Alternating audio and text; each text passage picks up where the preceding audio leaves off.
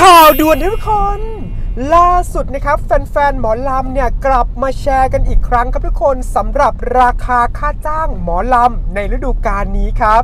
จริงหรือไม่ใช่หรือมั่วนะครับ ล่าสุดครับทุกคนทางด้านเพจดังเนี่ยอย่างเพจสถานีหมอลำอีสานครับทุกคนได้ออกมาโพสต์เอาไว้เมื่อ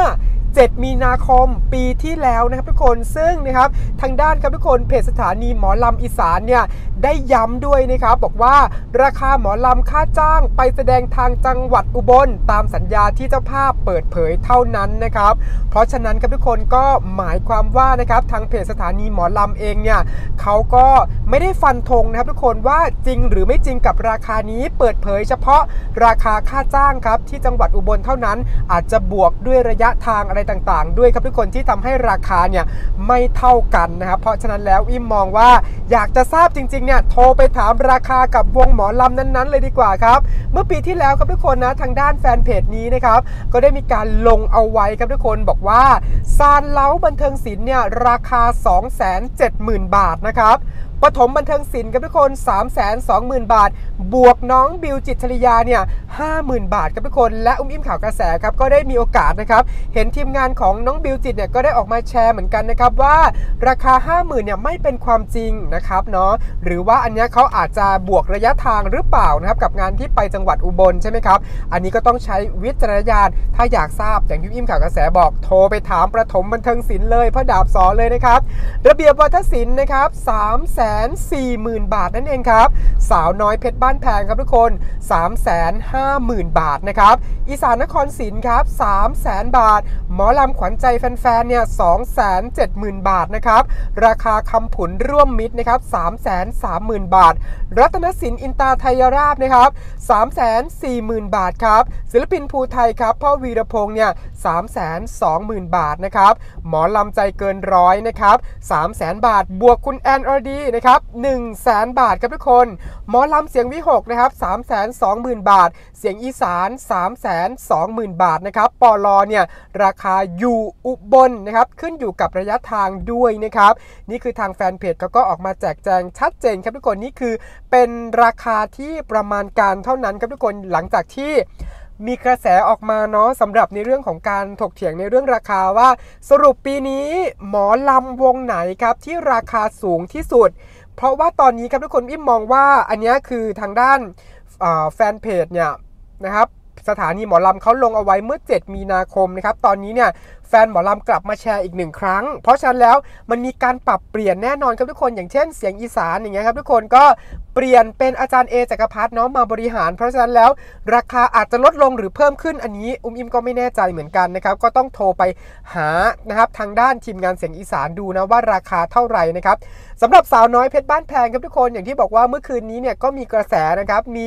บุคคลท่านหนึ่งเนาะออกมาโพสต์ว่าอยากทราบจริง ๆ ว่าทำไมหมอลำสาวน้อยเพชรบ้านแพงเนี่ย ราคาสูงที่สุดเพราะอะไรบอกหน่อย เขาก็ออกมาโพสต์แบบนี้นะครับทุกคนทำให้ตอนนี้นะครับกลายเป็นว่าคนเนี่ยอยากรู้ในเรื่องของราคาหมอลำมากยิ่งขึ้นเนาะอันเนี้ยอุมิมก็เราก็เลยเอานะครับทางด้าน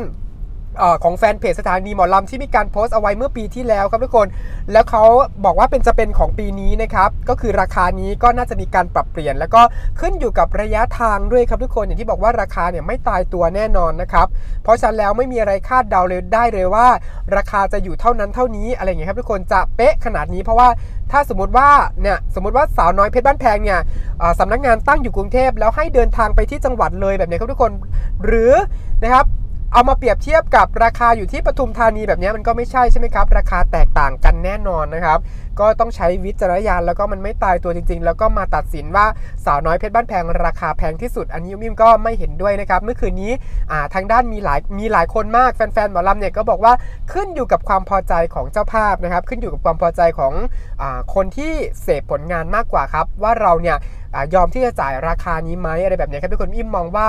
ราคาถึงแม้ว่าจะแพงขึ้นหรือว่าถูกลงเนี่ยก็เป็นวิจารณญาณของเจ้าภาพนั่นเองครับทุกคนเนาะในความพอใจต่างๆครับ ว่าเราเนี่ยอยากจะได้วงนี้ไปจ้างในงานมหรสพของเราใช่ไหมครับทุกคนนะทั้งนี้ทั้งนั้นเท่าที่ดูแล้วนะครับอิมมองว่า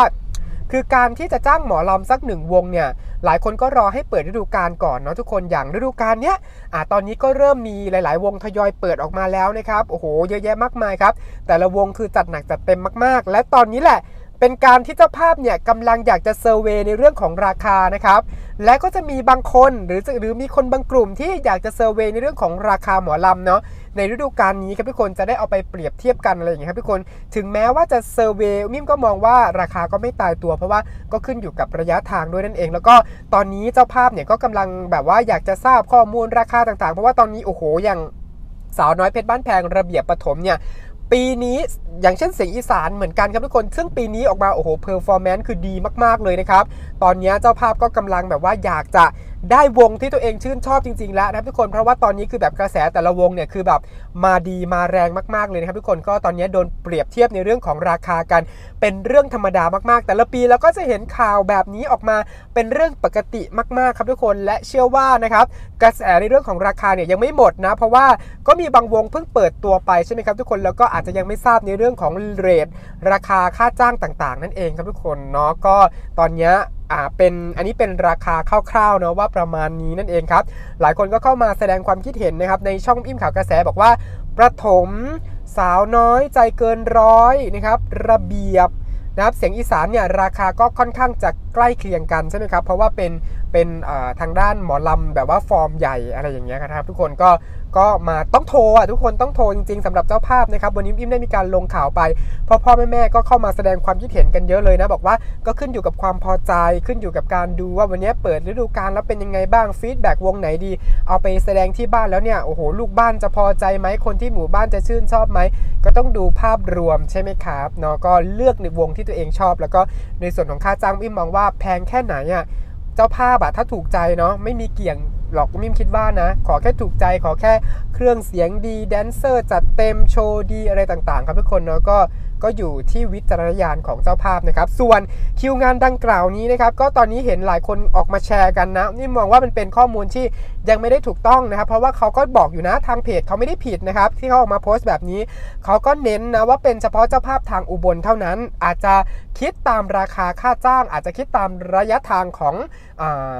การเดินทางด้วยนั่นเองครับทุกคนอย่างที่บอกว่าการเดินทางก็เป็นค่าใช้จ่ายนะครับเขาก็จะมีการบวกเพิ่มถ้าระยะทางไกลจากสำนักงานอะไรแบบนี้ครับทุกคนแต่ว่าต้องต้องดูดีๆ ว่าตอนนี้